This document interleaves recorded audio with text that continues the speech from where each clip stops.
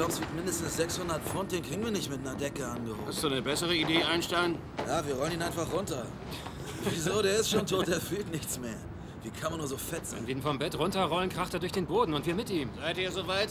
Und eins, zwei, anheben! Kommt, Männer! Hey, du bist doch der Bodenexperte. Ich war's nicht. Dann war's Riley. Hey, ich war's auch nicht. Ich war's nicht. Sag bloß, Tote können furzen. Na klar, nach dem Tod entwickeln sich ein Haufen Aber ein Gase. Toter hat seinen Arsch nicht mehr unter Kontrolle, deswegen kann er auch keinen fahren lassen. Wenn du ihn bewegst, furzt er. Das Hast du ist seinen. Leistenpuls abgetastet? Nein, er hatte sich vollgepinkelt.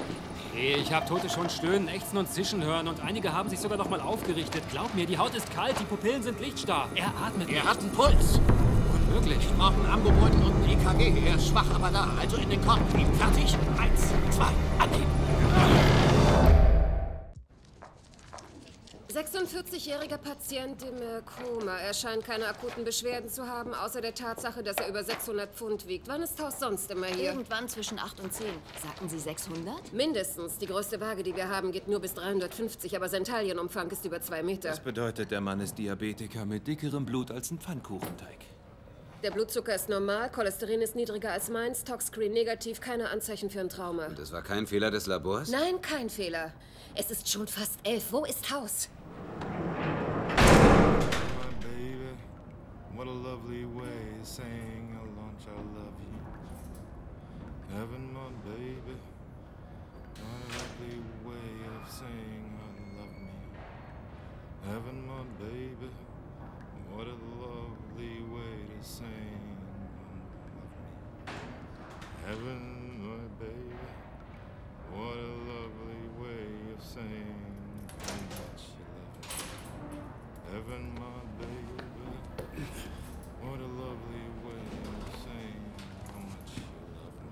Excusez-moi, garçon! Hallo! Es ist 11 Uhr! Mein Freund hier ist fällig für eine Ganzkörperwaschung und ich muss weg. Hey! Goma Pile! Ich weiß, dass Sie mich hören.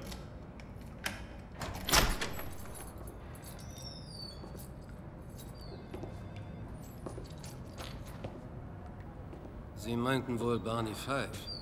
Es gibt viele große Idioten-Ikonen zur Auswahl. Es werden Ihnen sicher noch mehr einfallen. Klagen Sie mich an oder lassen Sie mich gehen. Kein Problem. Was hätten Sie lieber?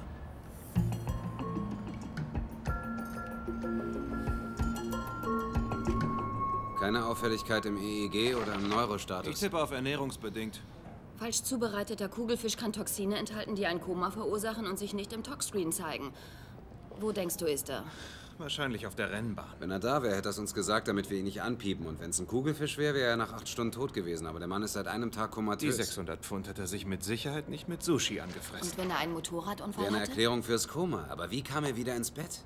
Ach so, Cameron redet von Hast Haus. du schon mal gesehen, wie er fährt? Nein, wir nicht. Aber ich habe gesehen, wie viel Pillen der Mann schluckt. Es würde mich nicht wundern, wenn er selbst im Koma liegt.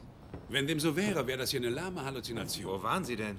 Falls Sie je mit dem Cambridge-Frauenachter in der Bar landen, lassen Sie sich nie zu einem Upside-Down-Kamikaze-Shot einladen. Wir haben einen Fall. Fettsack im Koma, ich weiß. Cuddy Sie gefunden? Nein, aber die Wand zwischen Wilsons Büro und meinem ist dünner, als Sie denken. Das heißt, wir sollten nicht mehr darüber reden, was für ein Loser er ist.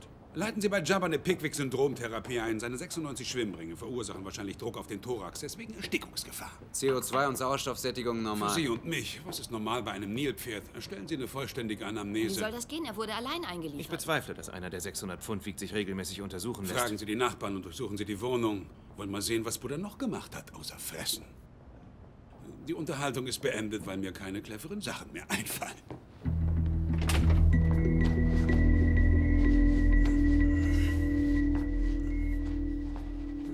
Es ist kaum zu fassen, wie viel Fleisch an einem menschlichen Skelett sitzen kann. Hängen wäre wohl der treffendere Ausdruck. Ist doch grotesk, da frisst sich jemand bis zur Besinnungslosigkeit voll und dann erwartet er von uns, dass wir alle Hebel in Bewegung setzen und ihn wieder auf die Beine Was stellen. sollen wir sonst tun? Jedem Adipösen die Behandlung verweigern? Hör schon auf, der hier ist nicht adipös. Er ist noch nicht mal morbid adipös. Er ist suizidal. Auch die werden behandelt, Chase. Aber so mancher Diabetiker nicht. Drogenabhängige kriegen keine Dialyse und Alkoholiker keine Lebertransplantation. Was ist dein Problem? Wurdest du mal als Kind von irgendwelchen fetten Kindern verprügelt? Ja, ich habe ein Problem mit Fett. Tja, ich glaube, sein Schlafzimmer ist da hinten und die Küche ist da vorn links. Sind Ihnen irgendwelche Veränderungen aufgefallen, sowas wie Gleichgewichtsstörungen? Ähm, nein, aber ich, ich sehe ihn wirklich nicht sehr oft. Er ist nicht unfreundlich oder so. Ich denke nur, er ist gern für sich allein. Ich glaube, seine Ersatzschlüssel hat er mir nur gegeben, weil ich ihm meine gegeben habe. Was ist? Irgendwie erinnert mich das hier an jemanden, den ich kenne und der ist unfreundlich. Hat George einen Job? Er hat eine Headhunting-Firma, die er von zu Hause aus leitet. Ab und zu interviewt er Leute hier, doch meistens macht er das übers Telefon. Wow. Ja, er ist ein leidenschaftlicher Koch und natürlich auch Esser. Vier Gänge Feinschmecker-Menüs, fast jeden Abend. Manchmal sogar mittags. Wissen Sie, ob er ab und zu Rohmilchkäse oder Wildgeflügel isst? Ich bin nicht sicher. Er kriegt alle Lebensmittel von dem Supermarkt an der Avenue geliefert. Die müssten es wissen. Hat er Freunde? Nein. Ich meine, manchmal kommen Frauen vorbei. Jung, attraktiv. Jedes Mal eine andere. Sie wissen, was ich meine. Verstehe. Nicht viele Frauen wollen sowas wie ihn haben.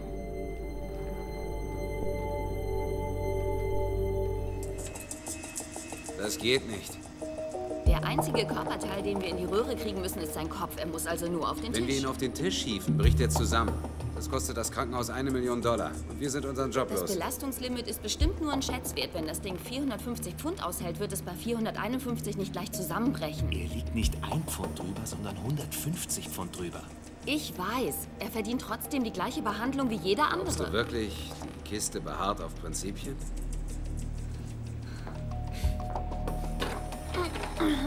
Helft ihr mir jetzt oder nicht? Wie viel wiegt dieser Typ? 440. Sieht nach viel mehr aus. Das sieht nur so aus. Okay, fertig? Eins, zwei, drei.